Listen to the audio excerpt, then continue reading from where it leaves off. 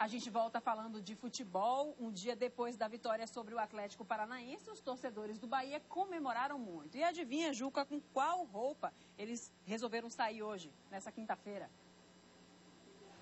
Na ressaca da segunda vitória seguida, as camisas do Bahia invadiram a cidade. Até por baixo do colete de trabalho, lá estava ela.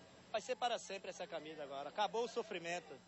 Não era para menos. Quem foi a Pituaçu nesta quarta-feira sabe que o jogo contra o Atlético Paranaense não foi fácil.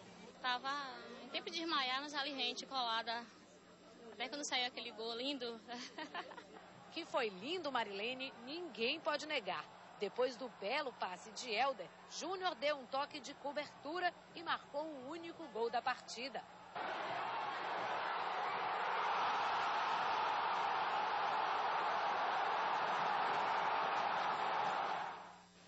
resultado, o Bahia chega aos 30 pontos e a 14ª posição na tabela. Se o Campeonato Brasileiro terminasse hoje, o tricolor estaria entre as equipes que disputam a Sul-Americana. Para alguns torcedores, esse é o efeito Papai Joel, que agora sim começa a ser sentido. Joel agora já está com o time na mão, já daqui para frente agora é só alegria. Com tanta empolgação, não precisava nem perguntar. Mas vamos lá. Será que o Bahia vence o Corinthians no domingo? Claro que vai ganhar, é lógico, né, mano? É isso aí, o Bahia vai chegar lá e ganhar, um, dar um a zero ferrado. Tá bom, tá bom, mas não custa lembrar que o jogo é na casa do adversário e que o Alvinegro Paulista briga pelo título. O confronto promete fortes emoções, mas deixa a ansiedade para o dia da partida, porque até lá. Quero só curtir o momento. Bahia! Acontecendo aqui no Parque Aquático Maria Leite. Todo mundo, o Brasil nada com o Thiago Pereira. A primeira tarefa está cumprida.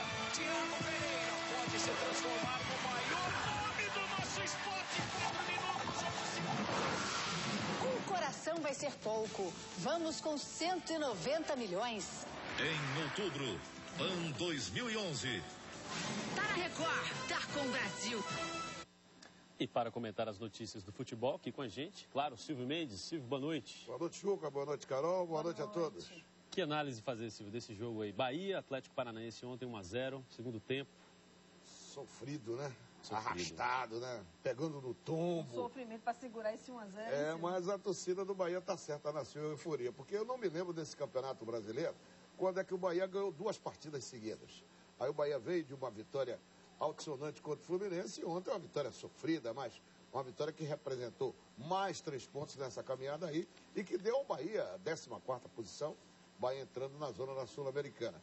E isso dá um indício de que o Bahia vai ser um time difícil para o Corinthians no próximo domingo lá no Pacaembu. Agora, você ontem hein, queimou a língua, né? Como você mesmo disse, eu estava ouvindo a sua transmissão pela Rádio Sociedade da Bahia e você falando mal do pobre do Júnior, ele foi lá e balançou a rede. É verdade, eu disse que ele estava parecendo uma tartaruga, uma lesma dentro de campo, porque o Júnior parecia que estava dormindo dentro de campo. E no momento do gol, ele ainda teve a, a, aquele, a, aquele gesto de olhar para o lado, assim, para o bandeirinha, para ver se ele estava ou não, ou não impedido. impedido. Eu pensei até que ele não ia chutar a bola no gol. Mas felizmente a bola entrou, ele dedicou o gol ao pai dele, que ele perdeu recentemente. É, o, jogador está ali para isso. Às vezes o cara não pega na bola 200 vezes, mas pega uma vez só e define. E agora o Bahia está sem Souza, né, Silvio? Como é que fica aí a situação do ataque?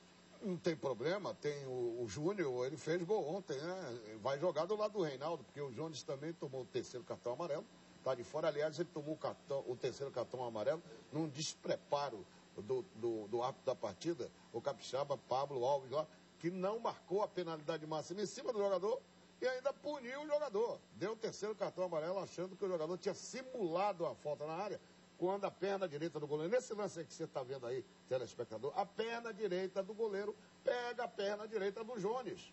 O goleiro ainda tenta encolher a perna, mas não dá mais tempo. Uma penalidade máxima aqui na China, no quintal do seu Pablo aí, só que ele não marcou.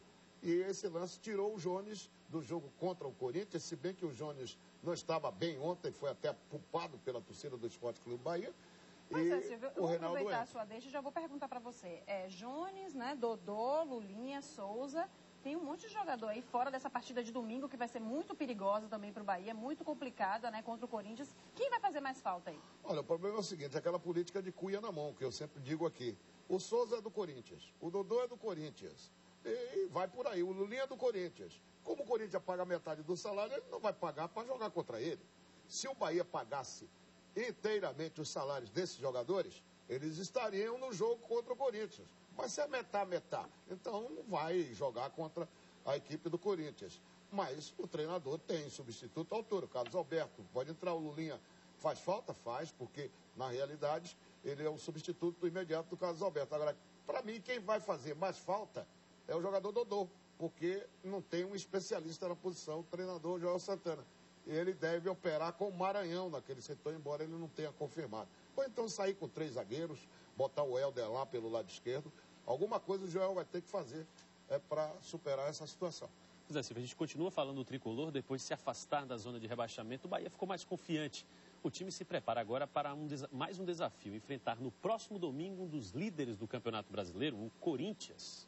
Após a vitória contra o Atlético Paranaense, os jogadores do Bahia, que atuaram os 90 minutos, fizeram um trabalho regenerativo na academia. Os atletas que não jogaram durante a partida disputaram rachão em campo reduzido. O próximo desafio do tricolor é no domingo, contra o Corinthians, no estádio do Pacaembu, em São Paulo. Com 44 pontos, o time paulista ocupa a terceira posição na tabela.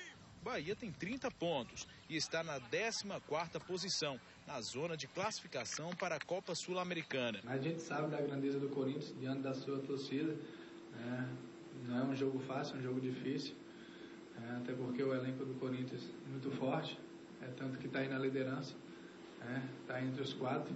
E eu acho que o jogo vai ser difícil, mas nossa equipe vem de um grande momento e queremos tirar o ponto né, na casa do Corinthians. Agora, Silvio, é, a gente viu aí no, no, jogo de ontem, né, que o árbitro pode ter prejudicado um pouquinho o Bahia. Como, que que você, como é que você avalia o árbitro da próxima partida? Bem, o de ontem, águas passadas no Móvel Moinhos, quase seria desastrosa a atuação dele, porque se o Bahia não faz o gol através do Júnior, a torcida do Bahia ia pegar no pé desse árbitro por muito tempo, porque ele não marcou pênalti no Júnior, que seria uma oportunidade do Bahia fazer gol, num lance de cobrança de penalidade máxima. O que vem aí, o Evandro Roman, que é o árbitro do jogo Corinthians e Bahia, esse é especialista. É um árbitro de inteira confiança dos homens da Confederação Brasileira de Futebol, especializado nessa situação de arbitragem, árbitro experiente. Paranaense, né?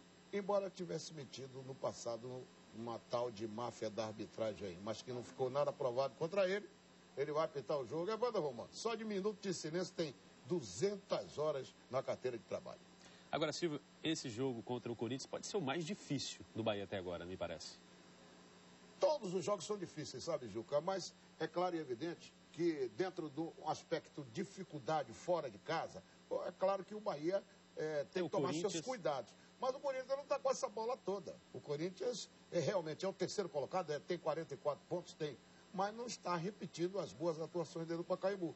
Isso pode ser benéfico para o Bahia. E o Bahia tem um conceito quando joga com o Corinthians. Ok, Silvio.